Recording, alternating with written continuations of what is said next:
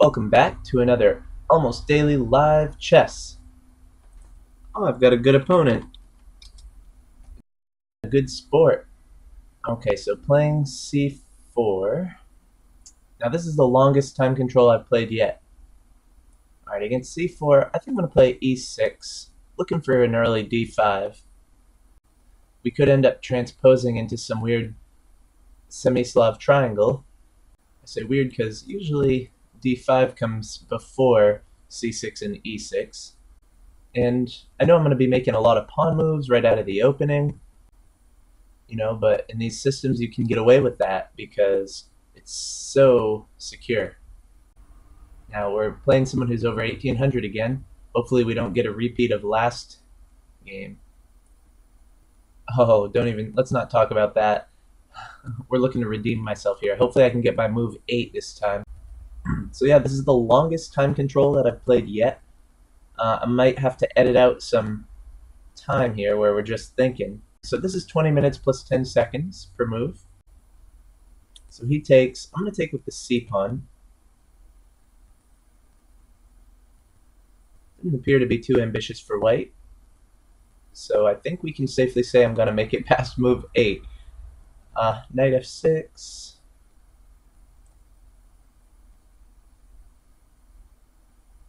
So he's got that e5 square.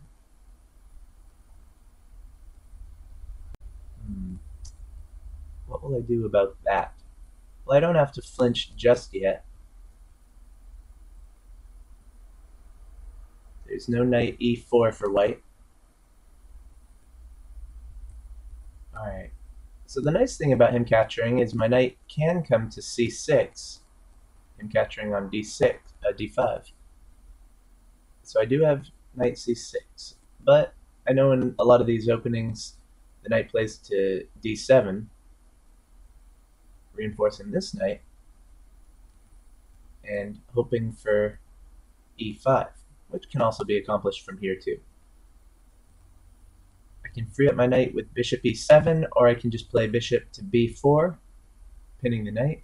Bishop d6 looks pretty ambitious, uh, not immediately too appealing with that, Gotta watch out for my king, so quick development is important. I gotta get castled soon. Because of queen and bishop checks on the on those light squares. So it's also bishop d7. So all these moves I'm talking about are are okay. I'm just trying to think of what kind of position I want to enter.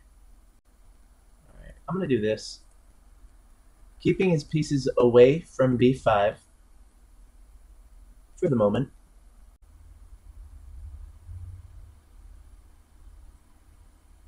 Alright, that's, that's a good move. I think only now will I play here. So, um, there's no way he can kick this bishop away immediately.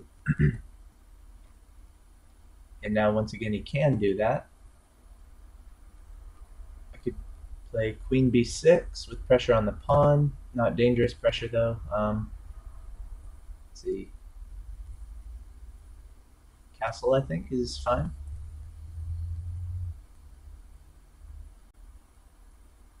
I have to think about if he does play knight to b5.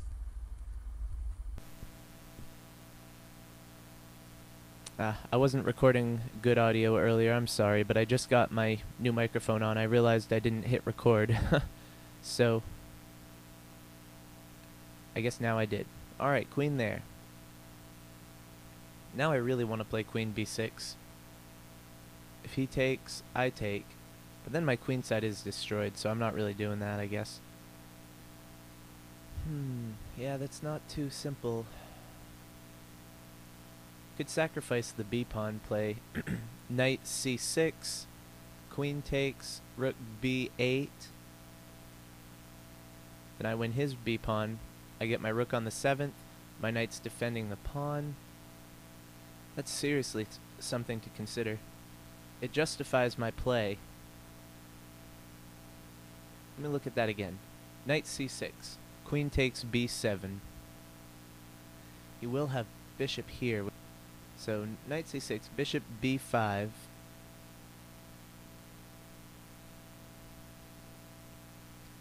Rook b8. Bishop takes knight. B takes. Yeah, that's fine for me. So I think that if I do end up playing knight c6, he probably will take the pawn. Then I play my rook here.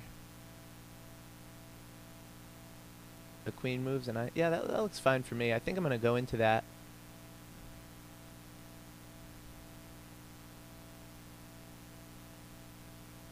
Maybe my opponent won't go and take the b pawn. So yeah, the reason I went into that line where I go into some tactical position is because how do how else do I justify playing my bishop here? I mean, it doesn't do anything, but now my bishop does do something. Defending the knight.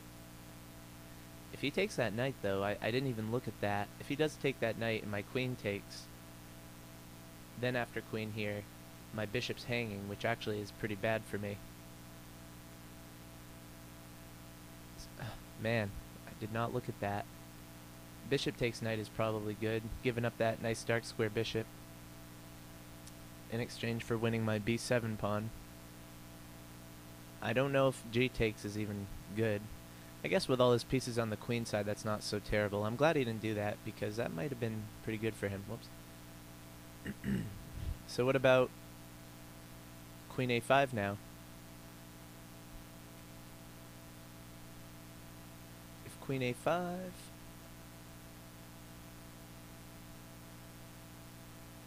He might have to just play his knight back. Because queen a5, if he moves his king or does something blocking with rook, let's say, let's say rook c3, then I play knight takes pawn.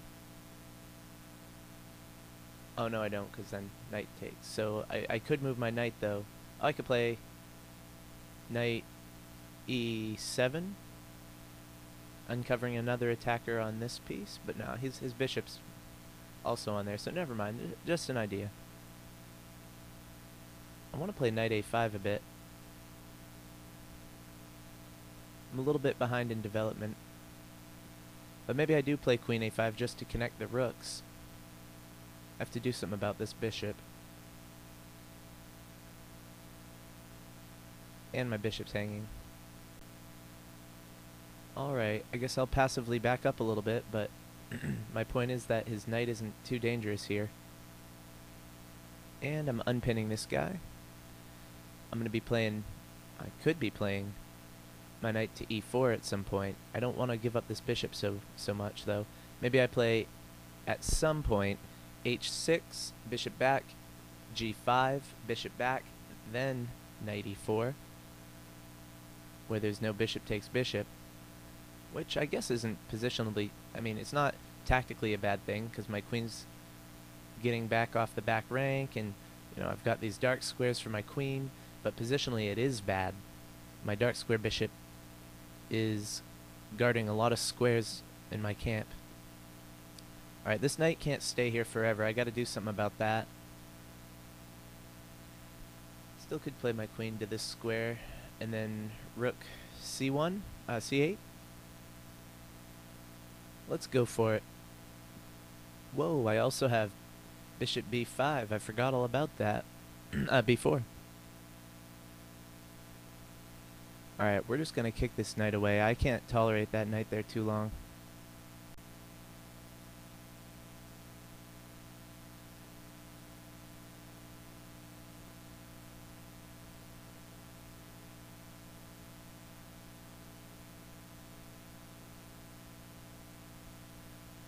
Alright, I'm going to keep his pieces out of my camp. Make him commit to doing something with this bishop. I guess backing it right up is fine.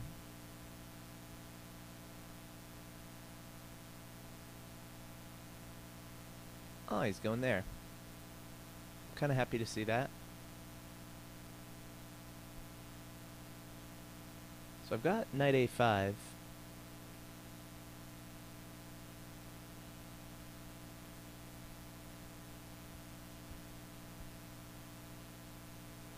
Let's go with it.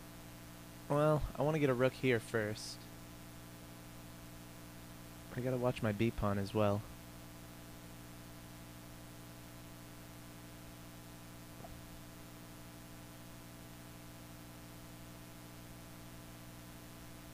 Alright, b5.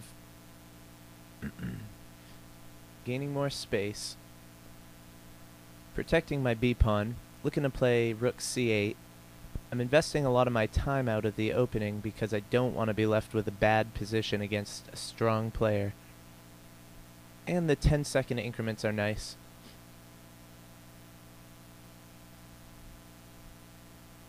So I could play b4 sometime, making knight e4 even better.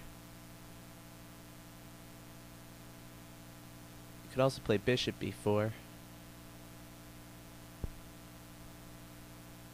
But my knight doesn't look so good here anymore, only being defended by my bishop.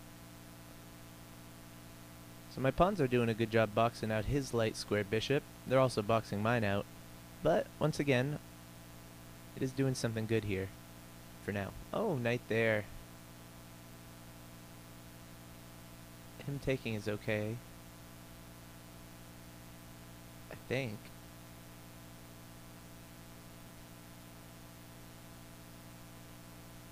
Do I play knight takes? Pawn takes? Knight here? No. Knight takes, pawn takes. Hmm.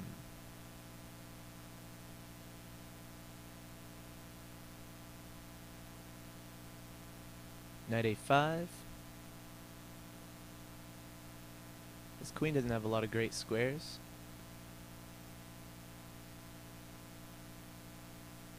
Alright, knight a5. I don't want to allow capturing right away.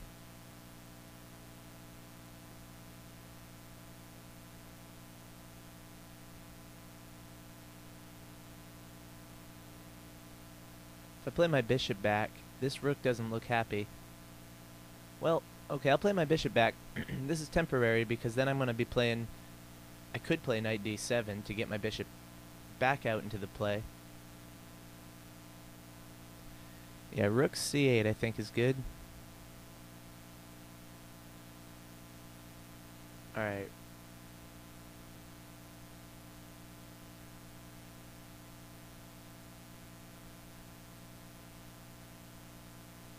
Alright, I'm just coming here. I need to get my pieces off the back row. And I need to do something about this knight on e5. Plus I need to play quickly, so I accomplished all those things with that last move. Still have 8 minutes and 15 seconds, plus the 10 second boost on my clock.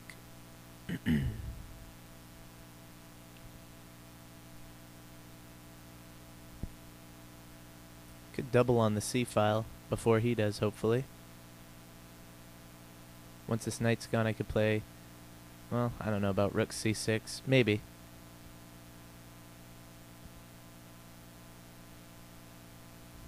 Could play f6. f6, e5.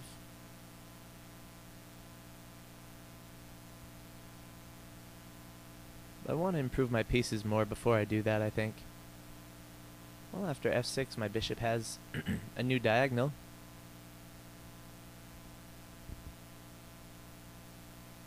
Aha. Seeing that, I'm doing this now. And playing knight here. Once again, improving my piece.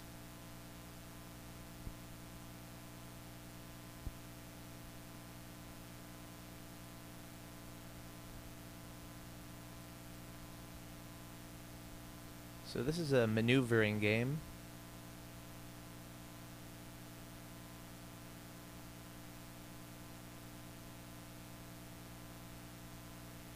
I wonder how bothersome bishop a3 would be for him.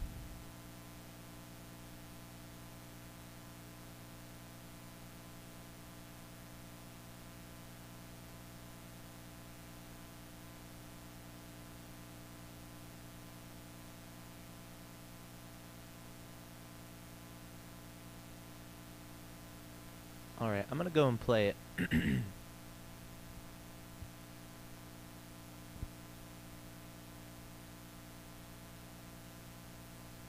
I'm thinking knight b4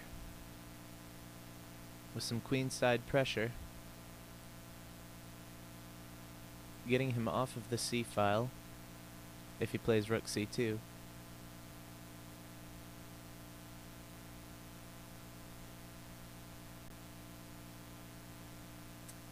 Actually, he might be, uh, he might have a hard time keeping that knight. He might have to drop the exchange at this rather innocuous point in the game. Is he going to play knight b1? After knight b1, I just take his rook. Yeah. Schustenberg might be in some trouble. Rated 1836. He's got a, a good five minutes on me, but I think I got the exchange out of that little tactic. Removing the defender. Exposing that c3 knight.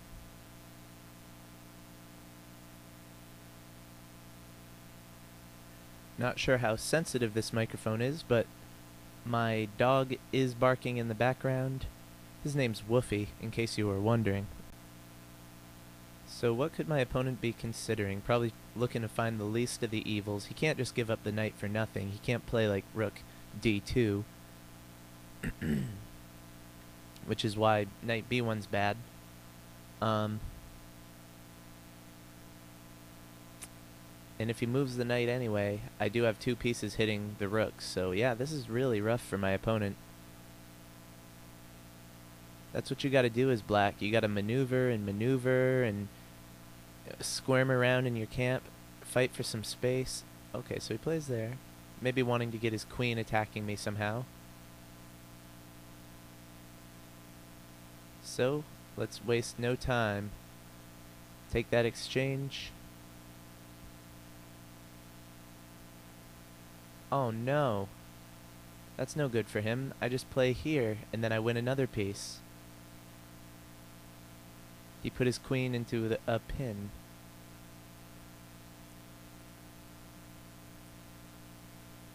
Ouch. Yeah, in the Slav defense, I don't think white, I mean, black usually gets such excellent queenside play. I guess it can happen, but okay. Yeah, I guess the, the point is black is very versatile out of the opening. Rook takes looks pretty good.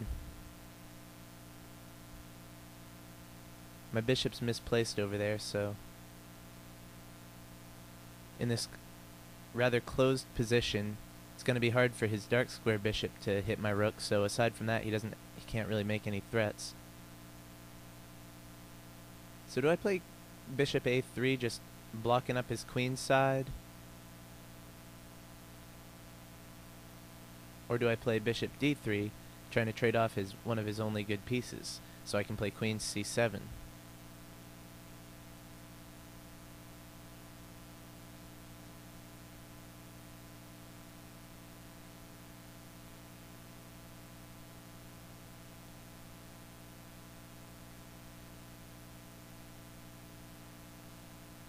Alright, let's just consolidate if possible. If he attacks my rook with his queen, I didn't consider that immediately, but I have a couple options. No, I really only have one option. I might have to back my bishop up again.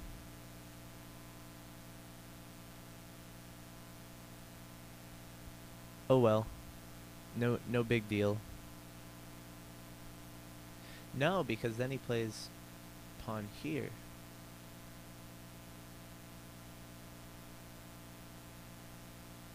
So yeah, if he attacks my rook, I'm gonna, I might have to passively back my rook up, sadly.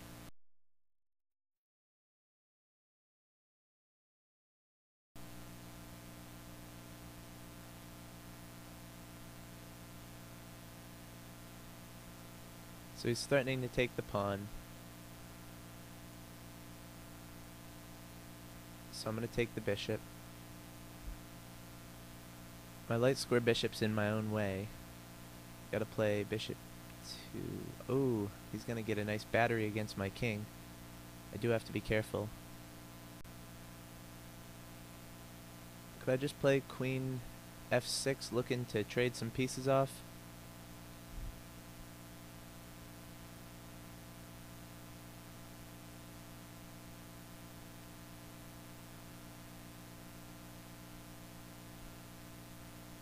In the event of queen b8, is that really so dangerous for me?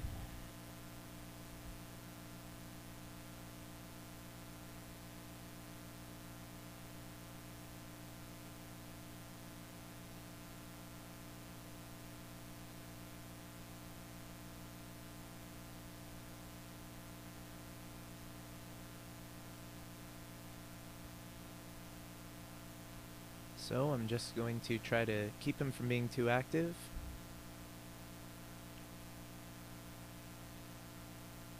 After queen b8 I play bishop d2. Alright, he's going there.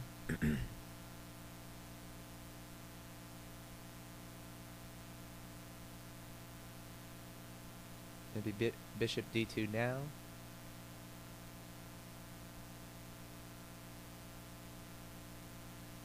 Finally, my rook is no longer trapped on f8.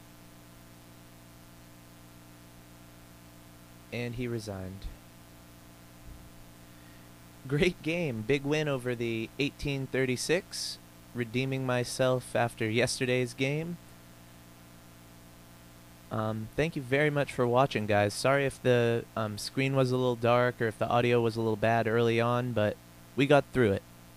Thanks. See you next time.